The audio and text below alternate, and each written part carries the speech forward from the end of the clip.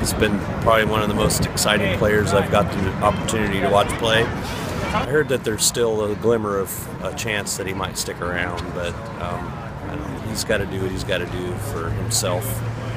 Um, though, as a fan, I'm kind of selfish. I would love to see him play till he was 45 or whatever, but uh, but it's it's just disheartening because he's been so much fun to watch play. I mean, there's there's never I don't know if there, I can think of a talent like Pavel Datsyuk. They're just he's one of a kind. I don't know if anybody will ever be able to to fill the shoes that he's going to leave empty. So I am trying really hard to look for hope still, just because we love him so much. But I understand if he needs to go, and we are prepared for tears. It's just going very first NHL game when the Red Wings played Minnesota, and she was so cute because she had, you know, one of those little tattoos that meant nothing to her because she was a child, and then she went down by the glass, and here he came, the Magic Man himself.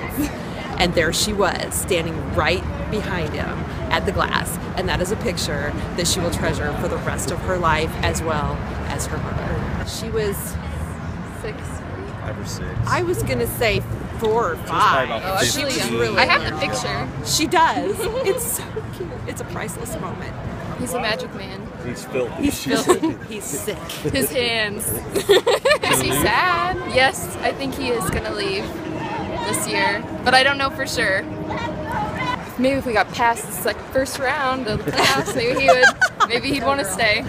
I think he's gonna go but there's a chance. There's I'd say it's 40-60 for how much he loves the Ilitches. I don't know. They, they might be able to talk him into staying more. I don't think he needs anything more than he already has. I think it would just be whether or not he, he has it in his heart to stay or whether or not he wants to go home. I don't think that this playoff will have it. He's been to a lot of playoffs, and I think that going to Russia, he'll be he's going to be a king over there. So I don't think that plays a big factor into it.